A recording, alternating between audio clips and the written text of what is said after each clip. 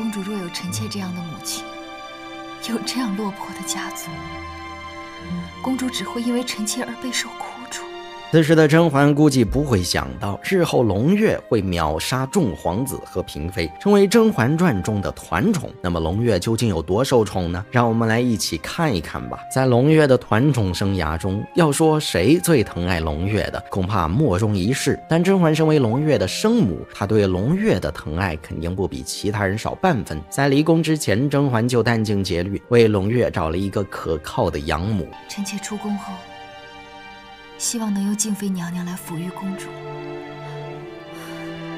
若能如此，臣妾再无遗憾。甚至在甘露寺受苦、自顾不暇的时候，甄嬛也没有忘记关心胧月的生活境况。我出宫这些日子，梅姐姐好吗？胧月好吗？你答应过我的，会为我照顾他们的。后来，为了让胧月的前程得到保障，甄嬛更是拿出自己的全部积蓄，为胧月打造一个项圈儿。皇子尚且可以凭借自身之力奋发向上，而公主一生的前程与际遇，都维系在她皇阿玛的怜惜与疼爱之上。请方若姑姑拿着这些首饰，请内务府的工匠们赶紧雕琢一块如我方才所说的项圈，能让胧月在生辰那日戴上，也算我这个做生母的尽点心意。甄嬛口中的项圈，其实是对纯元项圈的拟态，而非求真。纯元皇后有一个用羊脂美玉做成的芙蓉项圈，是她生前最喜爱的，好像是大婚那天皇上亲手所赐。那若以寻常的白玉求形似，能不能？这个简单。四大爷对纯元的深情，甄嬛心知肚明。因此，甄嬛这样做是想四大爷看到胧月带着纯元项圈仿品时，能够爱屋及乌，对胧月更好一点。然而，甄嬛为胧月做尽打算，胧月却并不亲近她。额娘抱抱好不好？额娘抱抱。额娘不要我了。胧月，来亲一亲额娘好不好？你不是我额娘。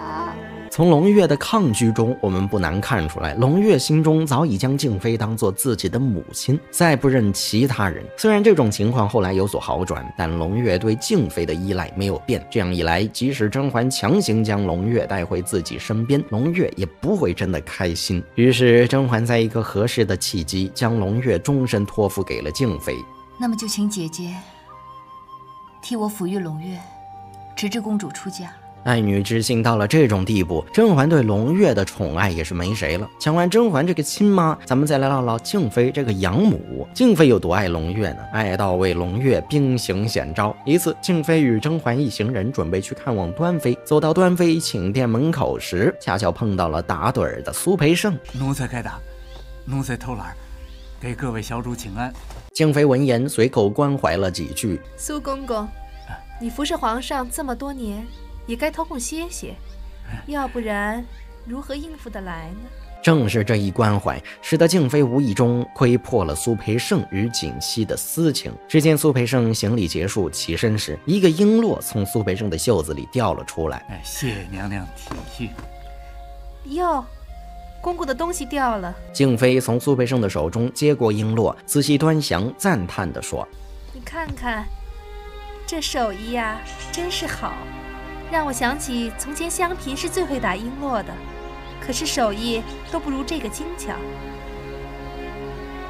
这倒是像你的手艺啊！锦汐闻言，神色是少有的尴尬和局促，刚开口说了几句话，就被甄嬛一个眼神制止。而锦汐这番欲言又止的古怪举动，都被静妃看在眼里。于是静妃心下明白，苏北盛的这枚柳叶核心璎珞，定是锦汐亲手做的无疑。为了让胧月长久的留在自己身边，静妃决定将苏北盛和锦汐对食一事告发给甄嬛的对家。宜修，这样一来，甄嬛忙着处理锦汐和苏培盛的事儿，就没时间跟他抢胧月了。而后来的事儿，看过《甄嬛传》的观众也都知道，端妃出手将这件事儿摆平了，甄嬛压根没费多少劲儿。等事情结束以后，甄嬛就来向静妃兴师问罪了。姐姐一向慧智，又对世事洞若观火。既然明知皇上对我不薄，姐姐又为何要与我作对呢？姐姐不争圣宠，又甚少与人交恶。当年华妃独大时亦可忍辱保身，今日种种，不过是想留住胧月在身边。可见龙月就是静妃理智人生中唯一的不理智。静妃为了龙月可以说是什么都做得出来。除了有两个妈妈的宠爱，龙月还有姨姨的疼惜。讲到这儿，或许有观众会问：龙月的姨姨是谁？当然是咱们的眉庄小天使了。众所周知，梅姐姐自从霉运事件以后，就变成了一个社恐。我才懒得出去，见到人就烦。所以梅姐姐的每日生活就是三点一线：存菊堂、碎雨轩、寿康宫。等甄嬛离宫以后，梅姐姐的生活就变成了两点一线：碎雨轩到寿康宫。然而大家别看梅姐姐这么宅，为了龙月，梅姐姐还是很愿意四处走走的。皇上，您瞧这天气多好，连惠嫔娘娘都带着小公主出来踏春了。同时，梅姐姐也担任胧月的服装设计师。姐姐的绣工是越发好了。我的孩子要赖着姐姐做姨娘，你还不多做几件肚兜？这些年给龙月做的还少吗？差不多都是我和静妃亲自动手。以上是女团对龙月的宠爱，现在咱们再来看看男团的表现。宠月男团成员一四大爷，四大爷对龙月的好主打一个特殊待遇。月色朦胧，公主的封号就叫龙月吧。一般公主都是满月的时候才能赐予封号，而咱们龙月小公主刚出生就能有封号，由此可见四大爷对龙月何其特别。除此之外，四大爷还曾赏赐过龙月纯元皇后的遗物。苏培盛，奴才在。去把纯元皇后的那副项圈拿来赐给公主吧。这个赏赐可以说是相当贵重，因为纯元皇后的遗物，四大爷一直是小心爱护、细致收藏。纵观全剧，我们会发现，除了龙月，四大爷再没有把纯元皇后的东西送给过任何人。龙月在四大爷心里的分量可见一斑。宠月男团成员二三阿哥，说起三阿哥对待龙月的态度，那更是明晃晃的偏爱。具体表现为，谁讨厌龙月，三阿哥就讨厌谁。牡丹一样好看呢。多谢公主夸奖。你似乎不怎么喜欢小孩子吧？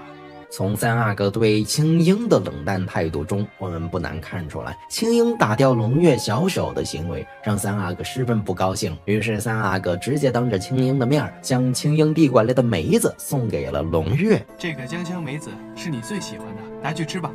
三哥最疼龙月了。不得不说，有这样一大家子的疼爱，龙月的人生不要太爽。